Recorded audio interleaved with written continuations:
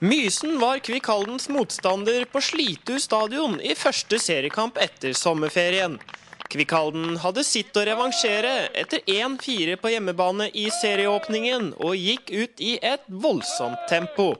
Det ga uttelling etter bare ett minutt og tre sekunder. Ved Per Herman Puck.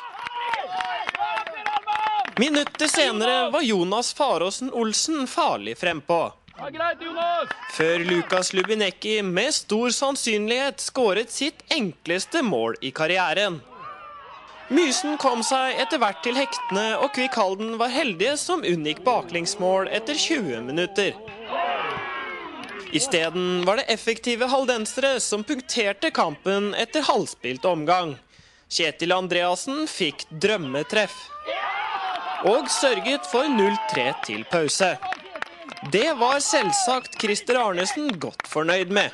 Veldig godt fornøyd med første gang. Eh, spillemessig bra. og det trøkket som vi har i første gang og den uh, jobbingen vi har i første gang, er veldig godt. Og det, vi får uh, godt betalt med 3-0 til pause, og fullt fortjent i, i for seg. Med en solid ledelse og tre poeng i lomma ble andre omgang aldri spennende i varmen på Slitu stadion. Men Jonas Faråsen Olsen var svært nære ved å øke til 0-4 etter 56 minutter. Isteden var det Esteban Reyes som fra nærmest død vinkel lirket inn Kvikk Haldens fjerde skåring i det 79. minutt. Et resultat som sto seg kampen ut. Kvikk Halden har dermed startet høstsesongen med to kamper uten baklengsmål, og det betyr god stemning i troppen. Jeg tror Thomas Sandem er veldig glad, eh, og ikke minst jeg og Ørjan er veldig glad for det. Og, men det er eh, Thomas er god, og spesielt Forsvaret eh, er godt i dag. Så har de seks mann som løper godt foran der, og det, det må vi ta med oss videre. Den antatt vanskeligste bortekampen er unnagjort, men det er fortsatt tolv kamper igjen å spille, og det kan by på problemer. Mange skumle kroker og kriker å gå i her. Jeg vil vel tro at vi har starta bra og er godt fornøyd med det, men uh, ting går ikke av seg sjøl. Det, det, er kun uh, jobbing som gjelder. og Vi har nok en del vanskelige bortekamper, men uh, vi skal prestere på Halden stadion. Fjorårets kvikketrener Joakim Jonsson har fulgt Kvikk Halden i flere kamper denne sesongen, og var også på plass på Slitu. Han har fått se et lag med stigende formkurve.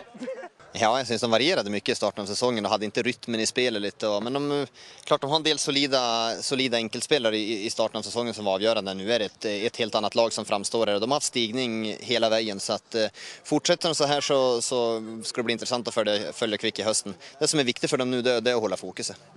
En av banens beste spillere, Martin Torp, var hakket mer glad over denne seieren enn sesongens andre trepoengere.